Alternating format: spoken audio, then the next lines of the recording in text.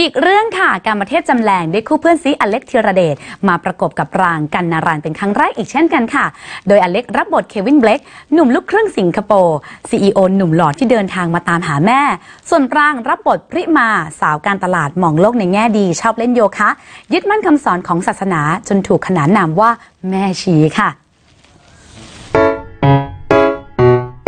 ด้วยความที่หน้าเราด้วยความที่หน้าหน้าของเราเป็นมันเป็นแนวลูกครึ่ง